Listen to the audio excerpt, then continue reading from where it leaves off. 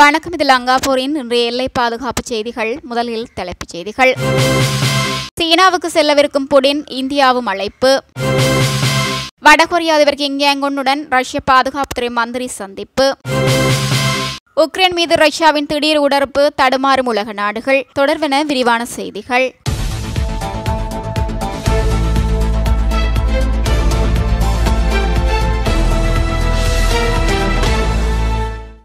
தற்போது நிலவும் போர் பதட்டத்தின் மத்தியில் ரஷ்ய அதிபர் விளாடிமிர் புடின் எதிர்வரும் அக்டோபர் மாதம் சீனாவுக்கு விஜயம் ஒன்றினை மேற்கொள்ள உள்ளதாக தகவல்கள் வெளியாகியுள்ளன. ஆப்பிரிக்க நாடுகளுடன் ஆசியாவை இணைக்கும் கட்டமைப்பு திட்டங்களை உள்ளடக்கிய நிகழ்வொன்றில் பங்கேற்பதற்காகவே அவர் சீனாவுக்கு செல்ல உள்ளதாக ரஷ்ய வெளியுறவுக் கொள்கை ஆலோசகர் தெரிவித்துள்ளார். ரஷ்ய அதிபர் விளாடிமிர் புடின் சீனா விஜயத்தினை தொடர்ந்து அவர் துருக்கிக்கும் பயணிக்க உள்ளதாக தெரிவிக்கப்பட்டுள்ளது. அதேவேளை எதிர்வரும் செப்டம்பர் மாதம் இந்தியாவில் இடம்பெறவிருக்கும் ஜி இருபது மாநாட்டில் கலந்து கொள்ளுமாறு ரஷ்ய அதிபர் புடினுக்கு அழைப்பு விடுக்கப்பட்டுள்ளது. இருப்பினும் இந்த மாநாட்டில் பங்கேற்பது தொடர்பில் இதுவரை தீர்மானிக்கவில்லை எனவும் ரஷ்ய வெளியுறவுக் கொள்கை ஆலோசகர் குறிப்பிட்டுள்ளார். ரஷ்ய பாதுகாப்புத்துறை மந்திரி சேகை ஷாகு வடகொரியா சென்றுள்ளார். வடகொரியா சென்றுள்ள அவர் அந்நாட்டு அதிபர் கிங் யாங்குன்னை சந்தித்துள்ளார். அப்போது ரஷ்ய அதிபர் புடின் கொடுத்து அனுப்பிய கடிதத்தை வழங்கினார்.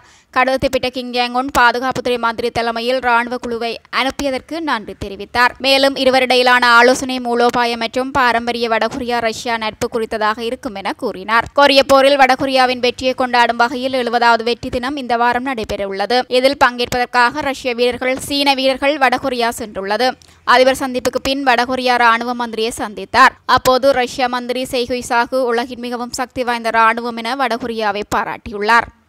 உக்ரைனில் நிலவும் பதற்றமான சூழ்நிலை காரணமாக அந்நாட்டு மக்கள் தொகையில் நாற்பத்தி மூன்று மில்லியன் மக்கள் நாட்டை விட்டு வெளியேறியுள்ளதாக ராணுவ ஆய்வாளர் கலாநிதி அரூஸ் தெரிவித்துள்ளார். உக்ரைனில் நிலவி வரும் பதற்றமான சூழல் காரணமாக வெளியேறும் அகதிகளில் அறுபத்தி எட்டு சதவீதமானோர் பெண்கள் ஆவர். இவ்வாறு வெளியேறிய பெண்களில் இரண்டு தசம் ஐந்து மில்லியன் பேர் பெண் தொழிலாளர்கள் ஆவர். இந்த மக்கள் தொகை வெளியேற்றமானது உக்ரைனில் பொருளாதாரத்தின் சரிவை மேலும் பலப்படுத்தியுள்ளது.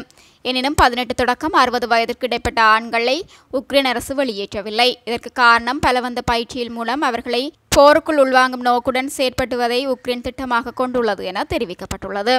மேலும் இதுபோன்ற செய்திகளை உடனுக்குடன் அறிந்து கொள்ள லங்காஃபு டாட் காம் எனும் முதல் தளத்தோடு இணைந்திருங்கள். நன்றி.